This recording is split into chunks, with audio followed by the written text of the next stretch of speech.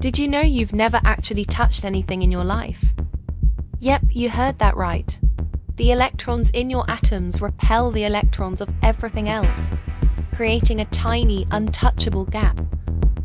Mind blowing, right? Here are five physics facts that will mess with your perception of reality.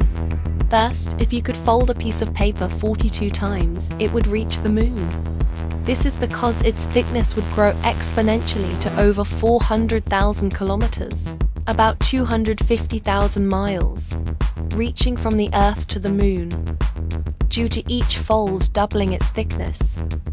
Second, neutron stars are so dense that a single teaspoon of their material would weigh more than Mount Everest. Third, time actually slows down the faster you move. This is Einstein's theory of relativity in action. Astronauts in space age just a tiny bit slower than we do on Earth.